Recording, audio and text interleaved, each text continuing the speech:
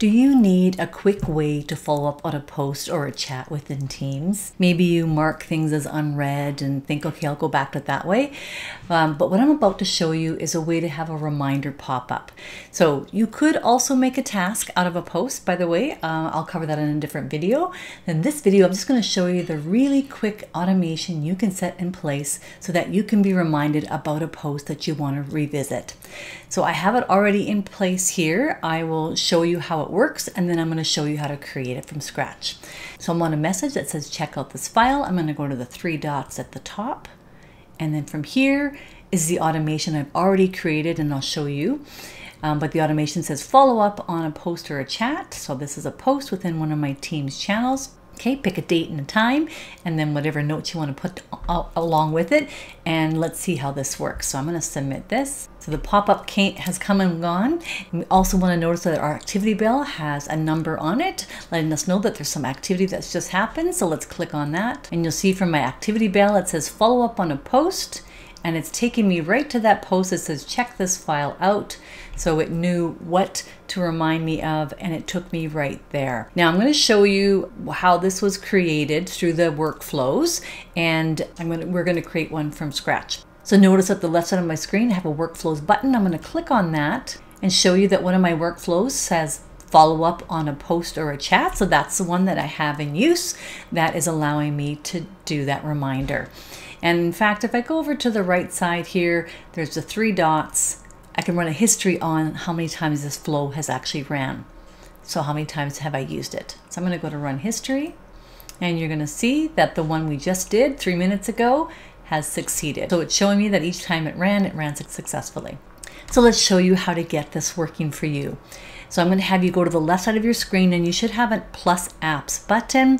I'm going to have you click on that. And then in the search apps or more, just type in workflows, workflows plural. And this is the Microsoft application that's working within Microsoft 365. And as you can see, it's working within Teams. You're going to have it there as an op with an option to add. I already have it, so that's why mine says open. So you can choose add. And then once you add it, you can, to pin it on the left side of your screen, you're just going to right click on the icon once it shows up there and choose pin. Mine says unpin right now just because I've already pinned it, uh, but that's how you're gonna have it showing up there. So I'm gonna go ahead and open up that workflows. So this is the same screen I took you to earlier, showing you the flows that I have in fact going, but I want you to look down further here and that's where it's showing some popular templates. So the template I'm using is called follow up on a post or a chat. There is one that's similar because that says follow up on a message.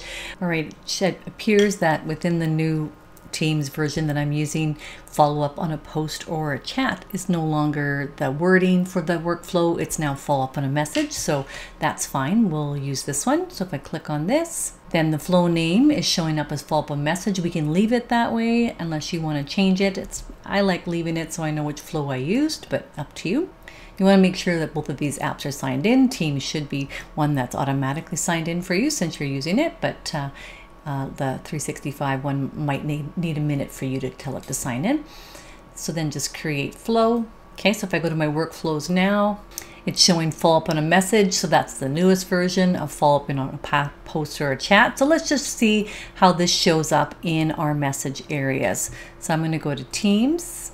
I'm just going to go to a different message here and go to the three dots. And I see follow up on a message is in my menu now as well as the one that I had there previously, which I don't really need both of them, but let's just choose follow up on message and we'll see that the layout of it is exactly the same as the one I just showed you. Okay, so put in your details. I'm going to submit that. And so I'm in my teams and in my channels doing this. I could go to my chat area and do this as well. So I'm in my chat area. I just picked the chat for project XYZ. I'm going to go to this message here and the three dots just above that message. And notice that I have both those options in my menu, follow up on a post and follow up on a message. So I can do that little reminder for myself in either a team and a channel or in my chat area.